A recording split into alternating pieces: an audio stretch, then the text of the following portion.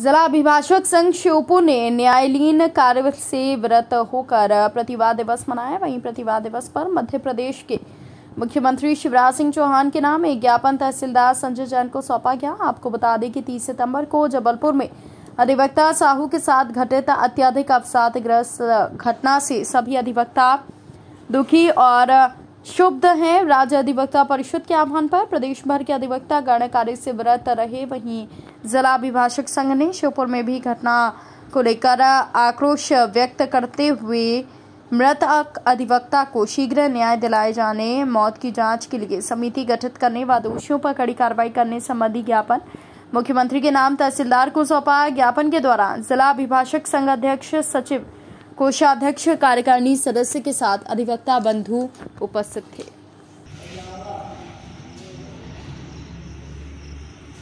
वकील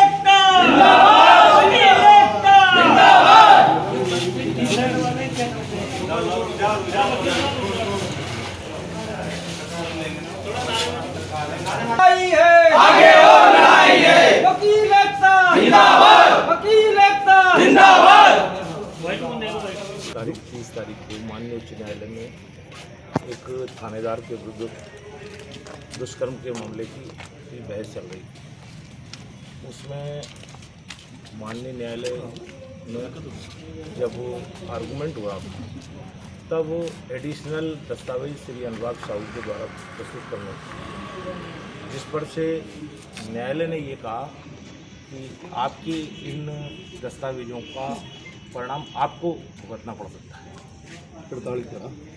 इस तरह की उन्होंने प्रताड़ना दी और वहाँ से जाकर उसने अपने घर पर जाकर इतना ज़्यादा दुखी हुआ कि घर पर जाकर उसने आत्महत्या प्रताड़ना उस प्रताड़ना के कारण जब आत्महत्या कर ली उसने तो वहाँ पर अभिभाषकों ने रोष व्यक्त किया तो जिसके ऊपर तमाम पुलिस ने बर्बरतापूर्ण अभिभाषकों के साथ व्यवहार किया उसके संबंध में निष्पक्ष जाँच के संबंध में एसआईटी गठित करने के संबंध में सीबीआई से जाँच कराने के संबंध में हमने अभी ज्ञापन सौंपा चलो ठीक है आप बाइक दीजिए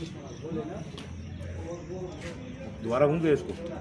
हाँ बिल्कुल मैं पूछूँगा उसके आधार क्वेश्चन अरे यार तुमने एक मिनट सामने आज कलेक्टर परिसर में जो है यहाँ पे किस चीज़ का ज्ञापन दिया है किस चीज़ की नारेबाजी आप करें ये श्री अनुराग साहू जबलपुर उच्च न्यायालय में अभिभाषक हैं।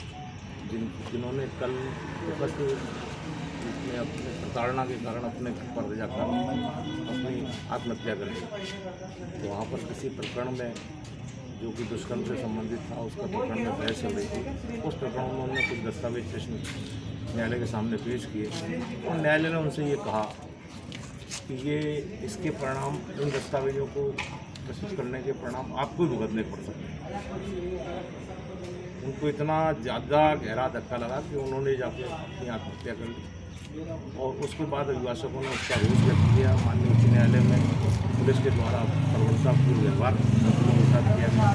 संपूर्ण कार्रवाई की और अनुराग जैन को अनुराग साहू को जो है, उसको, उसकी मृत्यु के कारणों की जाँच करने के लिए, एसआईटी या सीबीआई का कोई विशेष दल बनाने के लिए हमने आज की और आज न्यायालयीन कार्य से हम विरक्त हैं पूरा मध्य प्रदेश में आज बंद है। पूरा तीस तारीख को माननीय उच्च न्यायालय में एक थानेदार के विरुद्ध दुष्कर्म के मामले की की बहस चल रही थी। उसमें माननीय न्यायालय में जब वो आर्गूमेंट हुआ तब वो एडिशनल दस्तावेज़ श्री अनुराग साहू के द्वारा प्रस्तुत करने जिस पर से न्यायालय ने ये कहा कि आपकी इन दस्तावेजों का परिणाम आपको भुगतना पड़ सकता है। प्रताड़ित करा।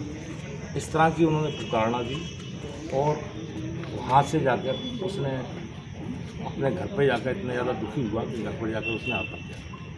प्रताड़ना उस प्रताड़ना के कारण जब आत्महत्या कर ली उसने तो वहाँ पर अभिभाषकों ने रोष व्यक्त किया तो जिसके ऊपर तमाम पुलिस ने बर्बरतापूर्ण अभिभाषकों के साथ व्यवहार किया। उसके संबंध में निष्पक्ष जाँच के संबंध में एसआईटी गठित करने के संबंध में सीबीआई से जाँच कराने के संबंध में हमने अभी ज्ञापन सौंपा है। चलो ठीक है आप बाइक दोबारा होंगे इसको? हाँ बिल्कुल मैं पूछूँगा उसके क्वेश्चन अरे यार तुमने एक मिनट सामने आज कलेक्टर परिसर में जो है यहाँ पे किस चीज़ का ज्ञापन दिया है किस चीज़ की नारेबाजी आप करें ये श्री अनुराग साहू जबलपुर उच्च न्यायालय में अभिभाषक हैं।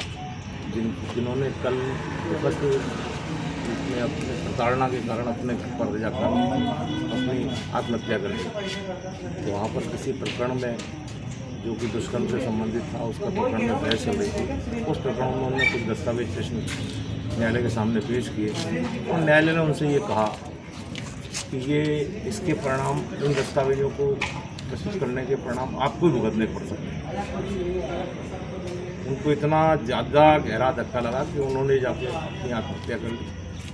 और उसके बाद अभिभाषकों ने उसका रोष व्यक्त किया। माननीय उच्च न्यायालय में पुलिस के द्वारा प्रवणतापूर्ण व्यवहार के साथ किया गया। संपूर्ण कार्रवाई की और अनुराग जैन को अनुराग साहू को जो है, उसको, उसकी मृत्यु के कारणों की जाँच करने के लिए, एसआईटी या सीबीआई का कोई विशेष दल बनाने के लिए हमने आज मांग की और आज न्यायालयीन कार्य से हम तरफ़ पूरा मध्य प्रदेश में आज बंद है।